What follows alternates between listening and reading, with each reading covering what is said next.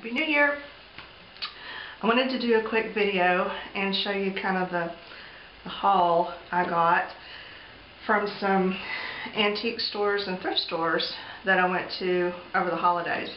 We spent Christmas with my family up in Wichita Falls. And my sister took me to a couple of the stores that she likes up there. And one of them was this kind of cool, funky antique store that was going out of business. You talk about score they were, it was like maybe their last day or the day before their last day, and they were just wanting to get rid of everything. Fixtures, you name it. They even threw in a bunch of stuff for free just to get rid of it. So, yeah, we cleaned up. Um, some of the stuff I've already started putting away, but um, I'll take you and show you where I put it so you can see. Because it was, I got some pretty neat stuff, you know, and for cheap. Um, I spent a lot, but I bought a lot too. And so, you know, individually, everything ended up being very reasonably priced, which appeals to me a great deal. So, um, hang on, and I'll show you what I got. We'll start with jewelry, since that's what I got the most of. That little store that was going out of business. Okay, hang on. I won't tell you what I just did. okay. Um, that store that was going out of business had a bunch of jewelry. Not really, you know, like really, really good jewelry. Mostly junk jewelry, and it was way overpriced. It's, know, no wonder they didn't sell it. But, you know, she offered the whole shebang at a decent price. And I'm always on the lookout for junk jewelry because I do use it. I make stuff out of it. See if I can get a better picture of it. There we go. Yeah, I'm going to be walking around with the camera a lot, and, you know, I really hate to do that because it's, it's all bouncy and shaky, so just go take your Dramamine now because it might be a little unpleasant. I'll try to hold steady. I bought the um, two display cases, this one and another one I'll show you, that came with the jewelry. She had mostly earrings and pins and stuff in this case, and she had the necklaces in a wall case that I didn't have any use for, but she had a little table case that I bought. Um, and I've already picked through and pulled out what I wanted, and um, which was probably less than half of what I actually bought but it was worth it to get those pieces because I did look it over good when I um, was in there and I could immediately see several pieces that I could use. And most of them will be taken apart you know beads will come off and they'll be they'll be cannibalized for other purposes. But a few things I'm gonna leave I'm gonna leave intact. There were some this is an interesting I didn't even know what this was. My mother had to tell me. This they both have a little pin back on it like this. So it's two pins connected by a chain and she said it was a sweater pin that you put like on a cardigan. This goes on one side, this goes on the other. She said they wore those when she was young. I would never have figured that out. But anyway, it's kind of cool. It's different.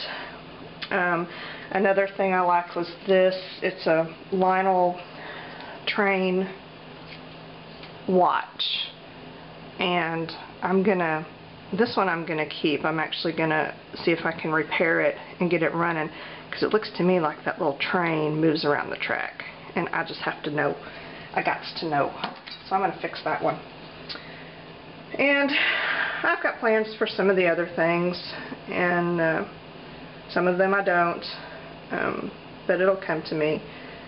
And there was really there's a few interesting pieces and uh, I don't know, to me it was worth it. I did box up all the extras and uh, I immediately found a friend to give all the extras to because her mom uses it to make stuff out of as well. And she's always looking for stuff like this. So I've got a box already ready to go to her. And I get a chance to get that to her. Um, the other case that I bought is right here. Hang on, we're moving. There we go. Yeah, that little table. And uh, they had stuff on it and in it. but um, and they had this really tacky liner in it that I took out. I just threw a piece of that's a drop cloth in there. I don't know what I'll put in there. Maybe some black velvet would look good. And I'm not really sure if I'm going to put jewelry in it. Probably not, because it's big enough to hold bigger, cooler stuff, you know. So I don't know. I don't know what I'll put in there. Maybe a little keepsake something somethings. But it's just a good little storage table thing. Um, okay, moving back this way. Let's see. Ah, I'll show you those big things in the back. Okay, hang on and I'll be back. I really didn't intend to buy these. Um, they were hanging on the wall at the um, going out of business antique store and I was looking at them thinking, oh my gosh, those are so cool. I have no idea what they were, but they were really cool. So the owner guy um, saw me looking at them and he told me that he bought them from the old man who made them at his house. And he had them hanging from the trees in his yard, and birds actually built their nests inside them, which I thought was just so cool, right? But the guy had them listed as plant hangers. You know, you could stick a plant in there or whatever, which would still be a very cool thing. I don't know. I don't know what I'm going to do with them.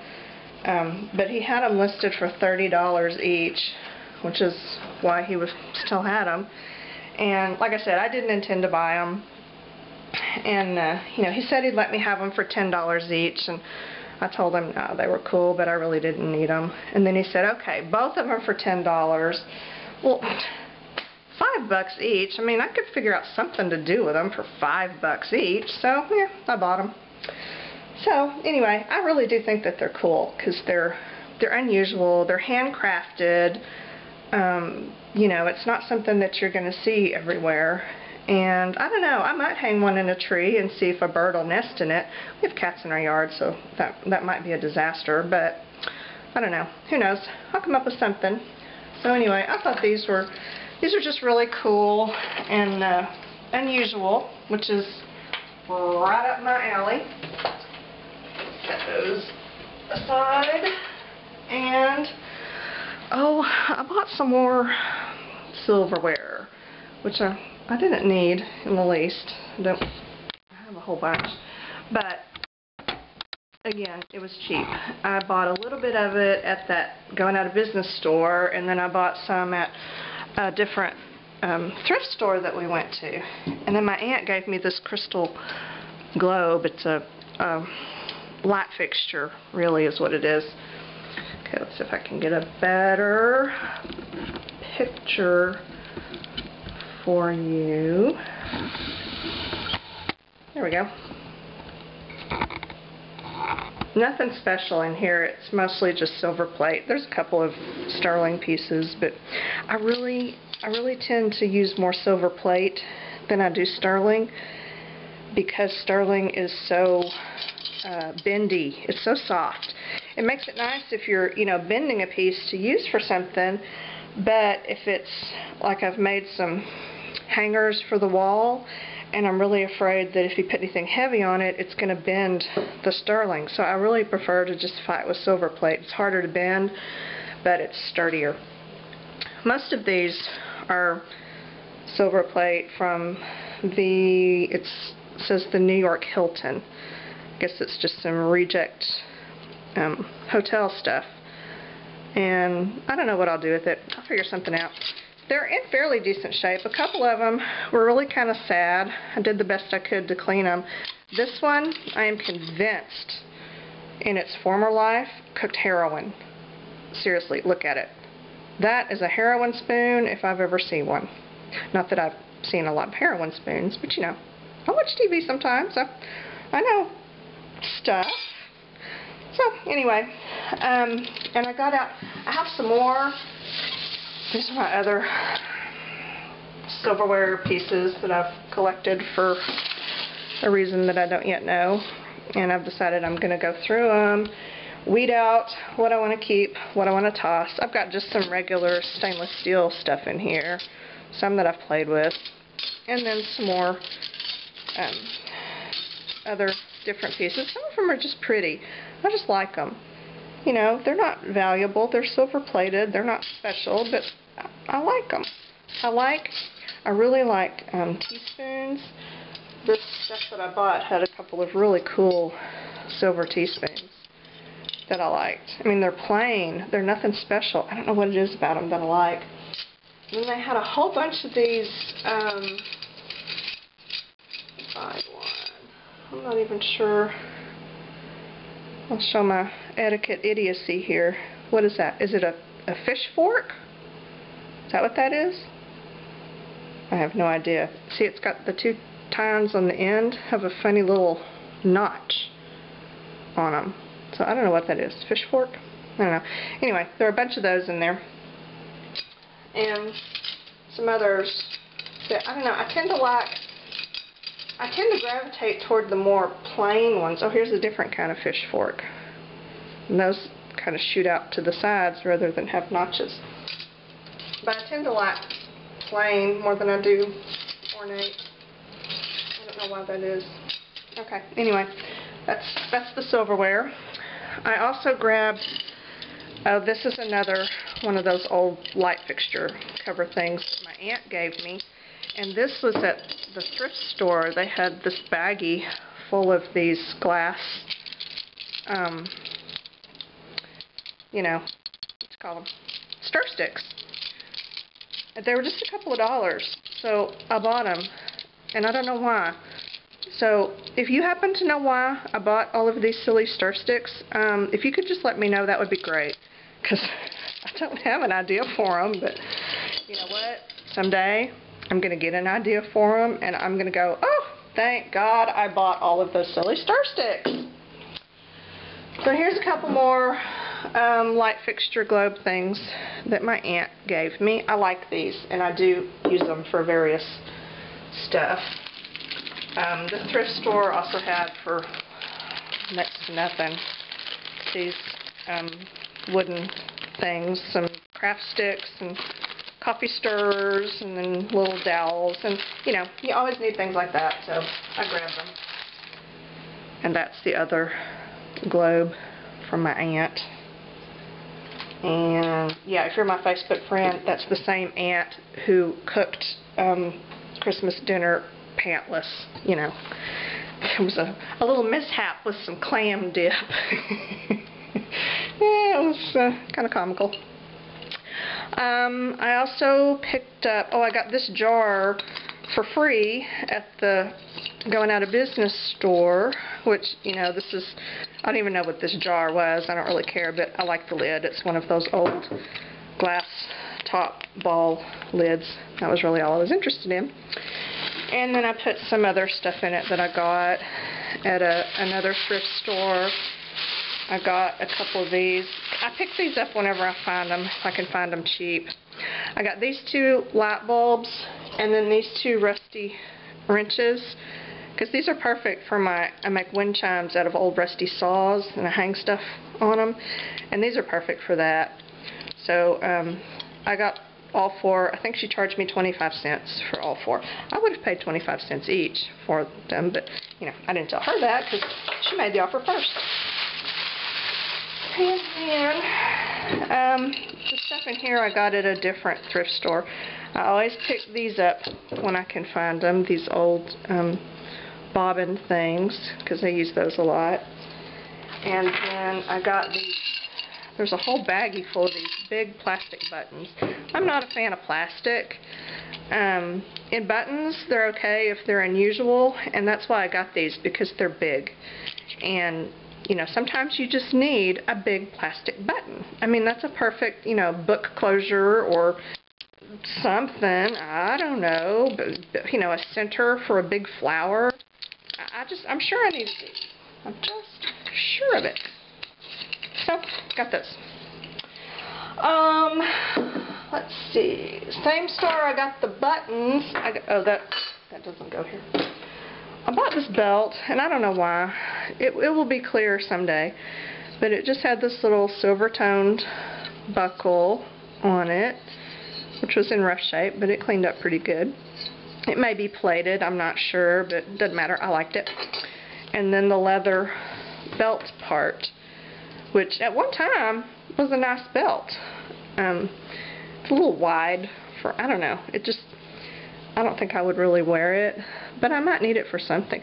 And in its day, I don't know when its day was, but it was a pricey little belt. It was marked $44.99, and it's made in Argentina. So, um, it's, you know, chances are it's a pretty good piece of leather and will last if I figure out something to do with it. And at that same store, I found a few um, things that I can use for junk journals and things like that. Just some paper stuff. There were some, this is a little book of stickers for um, a wire marker booklet for some kind of electronic something. I don't know. Anyway, they're alphabet stickers. And I like scorecards. These are, I think these are bridge for um, bridge scorecards. And those are fun to put in junk journals. And then this had some fun pictures. Oh look, it's already fallen apart. I love that. And then it had this um, um, rickrack label stuck in it, which was just a bonus. So, got that. Some airmail envelopes. Some, these are some from the 50s or 60s, 1957 little um, stationaries with pictures from New Orleans, St. Louis, and Moss Point, wherever that is. So there's that. And then, I haven't even opened this, but this was just like a whole taped up bundle of, of uh, you know, kitchen, like cookware manuals and cookbooks that come with cookware. I'm going to open that. I'm going to go find some scissors. Okay, hang on. I'll be back. I'm not going to stop the camera. We're just going to keep rolling because I know I've got scissors. Look, right here. Maybe they weren't far. I keep a pair of scissors and a roll of scotch tape in almost every room of my house. Because, you know, sometimes you just need those things and it's inconvenient to have to go to a different room to get them. And I am all about convenience. Alright, let's get this open, see what's in here. I figure I can use some of these in junk journals or something. Oh, this looks like a baggie of recipes. Oh, how fun is that? And somebody's obituary or a recipe? Little of both. Hmm.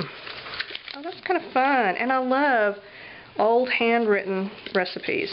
They're just the best. Look, she wrote it on, she wrote, it, she wrote a recipe on a check. Oh, how funny. Um, First American Bank, Erick, Oklahoma. Should I try to cash it? No, I wouldn't do that. She obviously did that a lot. That is so fun. Okay, this was really worth the, you know what, I don't even know what I paid for it.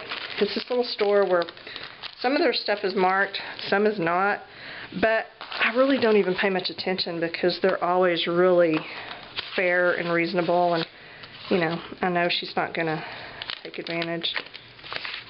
And, ew, there's always something weird and yucky. Okay, I don't know what that was. But, mm-hmm, oh yeah. These are fun.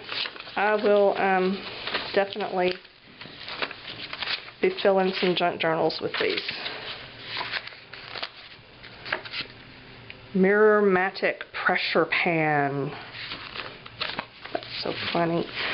Alright, I guess I can look through these on my own time. Yeah, that was fun. Okay, I'm glad I got those. So, that was my um, paper haul. Not much, but fun stuff. Uh, oh, one other freebie I got at the Going Out of Business store is this picnic pack. Ooh. Okay, gonna have to move back and adjust. Hang on, here we go. Good enough. There we go. Yeah, it's called a picnic pack. It's from the 1950s or 60s, and they were asking $24 for it, which is, uh, I've seen them on eBay and Etsy going for about that price, but you know, in Wichita Falls, Texas, they're not going to get $24 for it. But anyway, it's a, just a stackable storage. It was uh, sold as a, uh, ouch. Ow. Okay, I'm obviously not qualified to operate machinery of this level. Ouch. Okay. Stackable pans. That's all it is. You know, I took one look and thought, ooh, storage. You know, I can store stuff in here. I don't know what, but, you know, I can, I can figure that out. They need to be cleaned up a little bit. And this bottom one, originally, it came with a handle that fit right here, which this one is without its handle. But the handle fit right here so that you could use this one as like a frying pan if you're out camping or whatever. So, pretty cool. I don't think it will ever see a picnic, but I don't know. It might. Depends on how well it cleans up. But I thought it was pretty cool. Okay, so I can do this without breaking a finger. There we go. So that was my gift with purchase. Actually, they gave me this when I bought all their jewelry. So, um, yeah, that was my gift with purchase for that. Oh, and speaking of jewelry, these were some of the bracelets. Okay, I haven't put a bottom on the bottle yet, but I just stuck them on this bottle. I bought a bunch of bottles that I'll show you.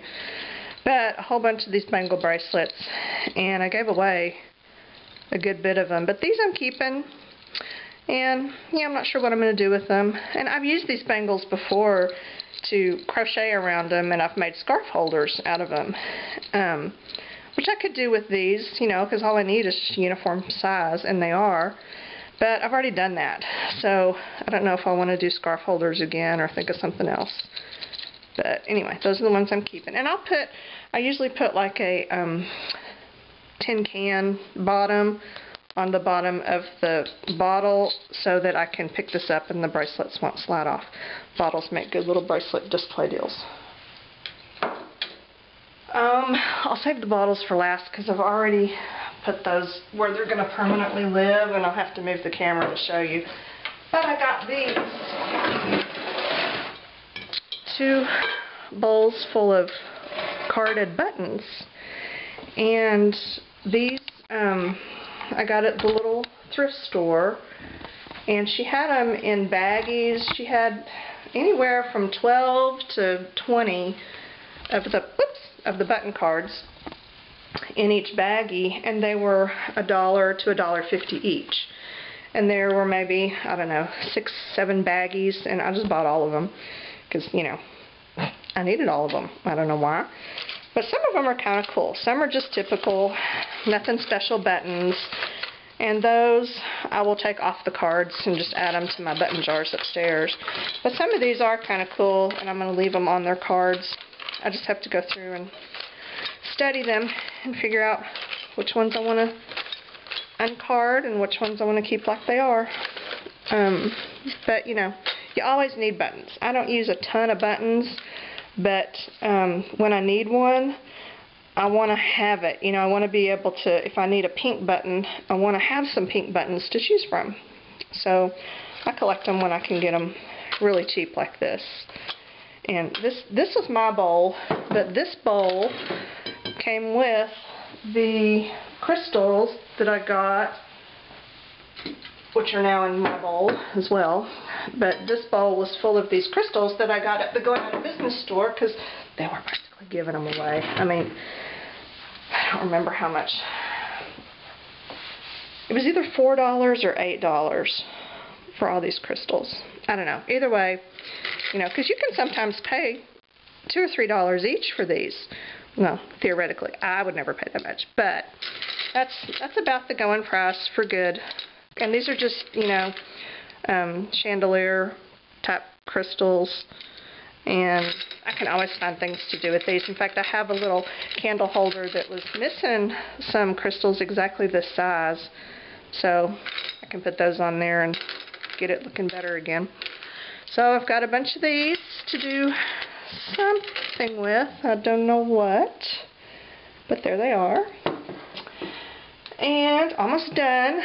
I've got my uh, my mom said, "Do you have any use for those spice tins?" And I said, "Well, yeah." Um, I had used some to, that I just covered with like a decorative paper, and then I used them to store beads and stuff.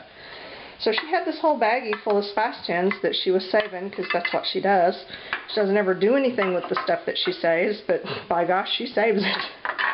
So I relieved her of her empty spice tins. And I'll have to, yeah, see, she doesn't even clean them out. They just get empty and she stuck them in the bag. So I'm going to clean these out and then do something fun with those.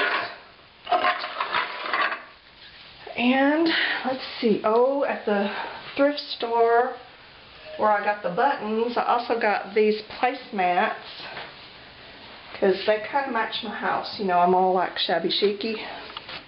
And they had these, um, whatever you call that lace. It, that's not Battenberg. Is that Battenberg? No. Irish lace? I forget. I don't know what it is. This kind of lace has a name. I don't know what it is. But these are not particularly old or fancy or anything. But they do match my house. And there's a couple of different, see this is kind of an oval one, and there's some in here that are square, which I like. I like that they're kind of mismatched, but they still go together. And there's like a dozen of them, so I've got plenty of placemats. And I am going to, some of them have some stains on them, and this type of thing I always soak in bleach anyway. So hopefully I can bleach some of that out. If not, you know, there's so many of them that I've still got plenty I can use. And so I got those. And they were like a dollar or a dollar fifty for four of them. So, you know, I paid, I don't know, four or five dollars for all 12. That wasn't bad. And at the going out of business store, she had a box of bottles. This is an old um, baby bottle that was in there. And she had a bunch of these amber glass dropper bottles that came with it. And it was a, I mean, one a huge box, you know, just a, a square box. And it was $25, I think she went, $25 for all of the bottles in there. And there were well over 25 bottles. So, you know, it was less than a dollar a bottle, which turned out really well. She even had a bunch of these. Okay, these are kind of scary. But actually these are good because um, last Halloween I made my Halloween display was kind of, I was going for kind of like a, a creepy laboratory or kind of a medical thing with empty bottles. But I didn't have a lot of these little bottles like this. The ones that I had were like empty liquor bottles. So even though I tried to decorate them and make them look more like medical bottles, it still just it just looked like a mini bar. It, it didn't work. So I've been having my eye open for small old bottles to use. So these are going to be good. And she, you know, these are way overpriced, but they have stuff in them. I have no idea if the stuff that's in them is actually what's supposed to be in them or if at some point someone just put whatever in them. Um, I'm also not anxious to investigate that and find out exactly what's in them because it's gross and I don't care. Uh, so I'm just hoping those little corks stay put. I mean, that's, ugh, I don't even know what that is. But anyway, they're going to be great for Halloween. I might grunge them up a little bit more and um, use them for my Halloween display so that it looks more medical or apothecary rather than happy hour because that, that just didn't work. Um, the rest of the bottles I've already put away. And let me see if I can. I'm getting ready to put Christmas decorations away so the house is kind of kind of not really straightened up. But okay, hold on. We're walking. Over here is where I ended up putting the rest of the bottles. And it's been cloudy ever since we got home which um, I'm not real happy about. I don't know, maybe I have that seasonal whatever disorder because when it's cloudy and gloomy outside, I'm not real happy. Know what I'm saying? And these are going to look really cool when it's not cloudy and gloomy and when the sun comes out because, you know, then they can kind of, kind of, the sun will kind of shine through, or that's my hope anyway. But this is the window above my front door. And that is where I chose to put all the little bottles that I bought. Well, my memory card filled up, so I had to take a break and delete all the junk off of there. And um, the sun still didn't come out. I gave it plenty of time, and it's still not cooperating. But anyway, you can see where the bottles are, and, and I'll try to do maybe another video on a day when the sun does come out, so you can see how the light shines through there. Or not. No, that's just my theory, but I'm pretty sure that it will. Um, but I like them up there. And there's room to grow, which is important because, you know, I'll probably find more bottles along the way at some point. Uh, the last thing I want to show is this is just a little gift that my mother gave me. Oh, how am I going to do this? Okay. And it's something that her neighbor made. Thought they were adorable. Let's see. Yeah, there we go. Let me um, fix this. And it's just a letter.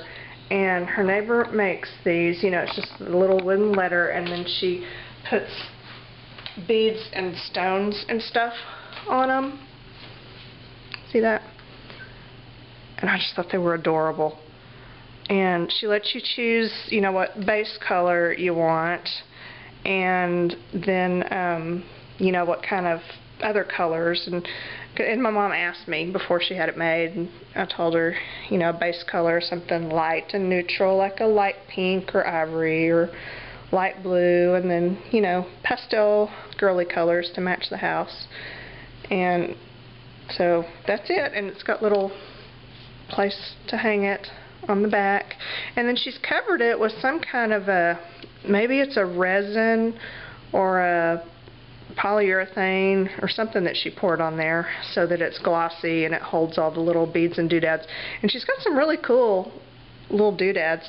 Some are just kind of basic glass beads, but then she's got some really kind of interesting pieces that she finds.